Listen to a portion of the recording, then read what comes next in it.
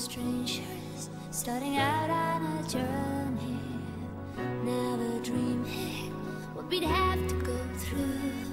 Now here we are and i'm suddenly standing at the beginning.